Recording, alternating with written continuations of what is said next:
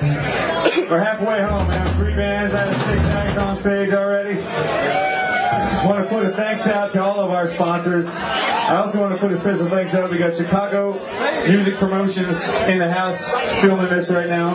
Check them out at www.chicagomusicpromotions.com. Like I said, you guys, I'm not going to list them right now because I'm just too tired to do it. But we got all of our sponsors are listed up here.